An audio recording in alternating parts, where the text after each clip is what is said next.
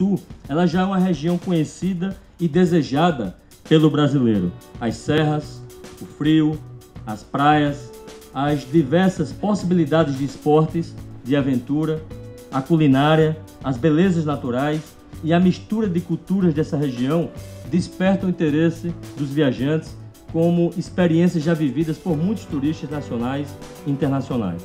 A prova disso é que dos 10 destinos mais visitados a lazer pelos turistas estrangeiros no Brasil, 5 estão na região sul. 14% dos turistas brasileiros que pretendem viajar nos próximos meses já escolheram o sul como destino, porque a região tem o poder de oferecer sempre uma experiência diferente. O turismo de negócio tem crescido muito. No último semestre, foi 9% o aumento do turismo de negócios no último semestre, movimentando mais de 5 bilhões na economia do nosso país.